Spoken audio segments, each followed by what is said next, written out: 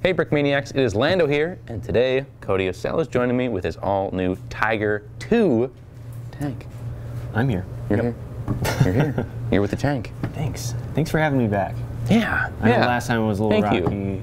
Was it? And the time before that, and then the time before that. I think that's kind of par for I'm- the I'm course glad- here. Um, just a quick note before we get started here.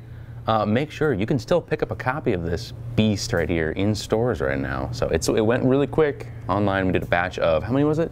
100. 100. We did 100. Went really quick online, but there are still some available in the stores. So check that out if you haven't gotten onto the store. Anyways, a little bit of history of the Tiger 2. Let's get into A little bit of history. So, Tiger 2 is the su- successor to the Tiger 1. Go figure. Yeah. Uh, so it kept some of the same design features as the Tiger 1, being just a thick armor Very. hull.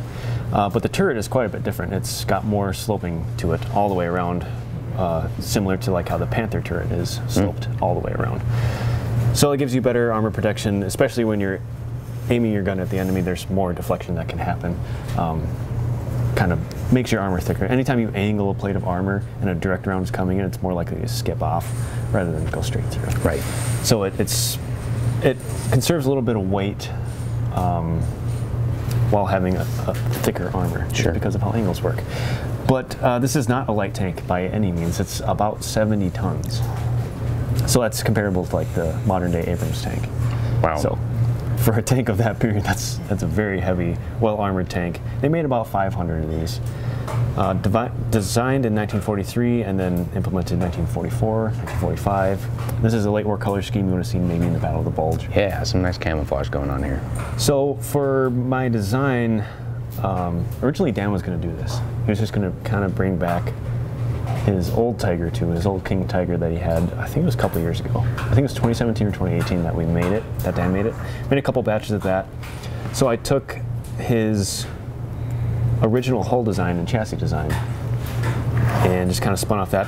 Updated the wheels, so now we have printed wheels on Yeah. there as Good opposed to close up of that. Very as opposed to that tan gear that was just flipped inside. Right. So it's a little bit larger diameter wheel, uh, nice printing on there. Uh, the suspension still works similar. Uh, mean, well, it's the exact same. exact same, huh? exact same as to how Dan's was previously. And it rolls really well. This is a really slick surface. So you got the nice Lego chain Incredibly on slick there. surface. Rolls super slick. Um, different camouflage scheme that was kind of the most major update aside from a completely re- redesigned turret. Uh, it's a dark tan, dark green, dark brown camo scheme. And we actually had uh, a diecast model that Dan had. Yeah. that was uh, a pretty hefty model. It was 135th scale, so I was I used that to make my modifications to, and it's a pretty close size. Yeah. Uh, I, I shortened up the hull by a brick. I felt it was a little bit long from Dan's previous model, but otherwise internally it's really similar. You can fit two guys inside the hull. There's engine details inside. Um, and we updated it with some BrickArms, a new BrickArms barrel, the 76 millimeter barrel. The real tank had an 88 uh, anti-tank gun, and but we just used this barrel because it's a similar size, as well as a BrickArms Panther muzzle brake. Very similar, yeah. So it's also similar to the ones that we've 3D printed in the past, but figured we could just use a BrickArm. I didn't know it existed um, I started my design, and then I realized, oh, we actually had these in house. So I threw that on there. Very nice. And we have some cool transparent stickers. yes. Um, some nice transparent stickers right here across the tur- turret, and that's both left and right. Um, what other stickers did we have? We had a few more. Yes. Um, the so drive some, wheel some new, idler. Yeah, some new artwork for the drive wheel on the front here, and then the idler on the back wheel here. Um, so those are just close, as close as I can get to approximations of what the historical one looked like, along with um, new artwork for um, the wheels as well. So Mm-hmm. cool. kind of got that simulated. There's like an armor, big thick armor plate. It looks like that they have bolted to the side of the wheel. So Yeah. cool, cool. Yeah, it is. It's a really interesting wheel we were looking at, and they actually had these in Bovington Mm-hmm. when we were there. They had the the version with the Porsche turret as well. So this is a uh, Henschel. Henschel? Henschel? Henschel? Henschel? I forget which. What was the word again? So there were two companies competing for it, and that one got the ticket. Ah. So, but they, they did have a, a variant with a more curvy, sloped turret hull or a turret turret hull turret.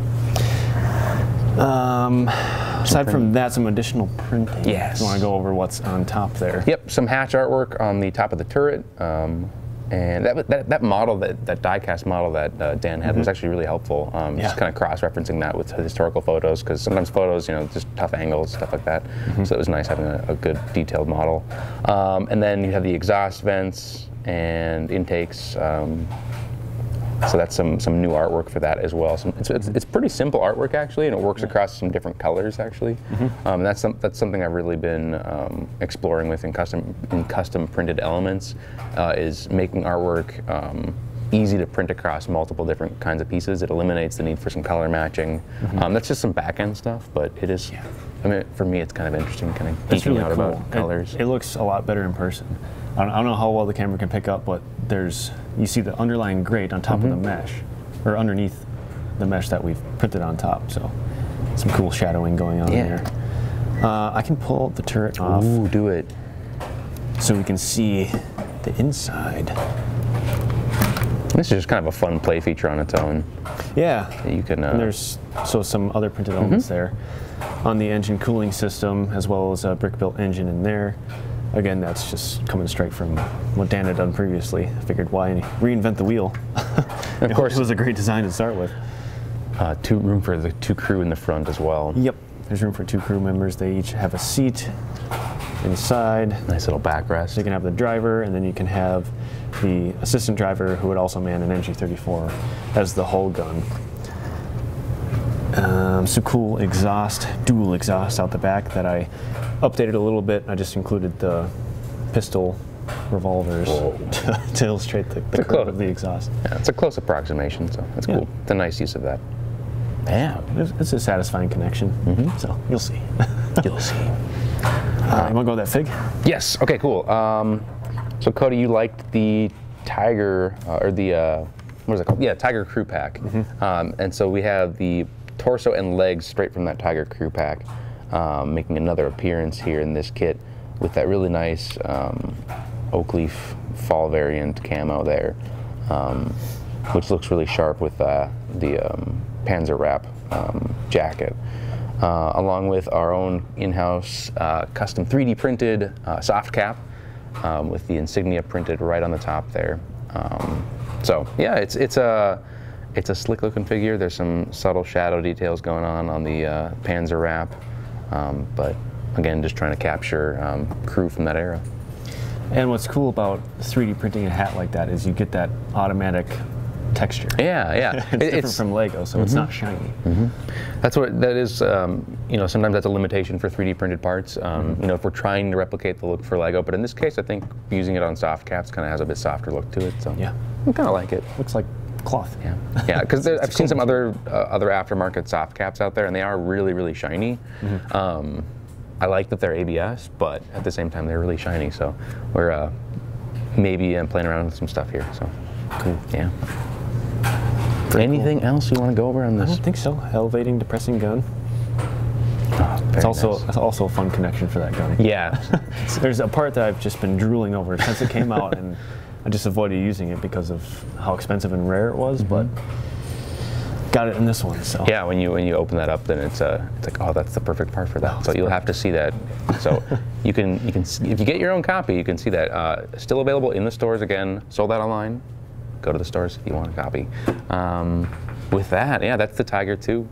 Um, oh, do we want to mention that? That mention one's it. coming up. So springing off. This is just kind of cool to compare this color scheme, these these two models. Now keep in mind this is just a prototype Yes. of the Yegged Tiger.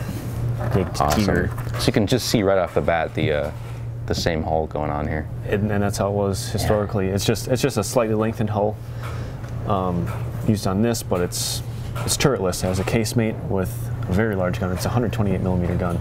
Um, keep in mind this is a prototype. Bar- barrel colors, color, camouflage, things will change. Yes. But We thought we'd show it off quick out. here at the end of the episode.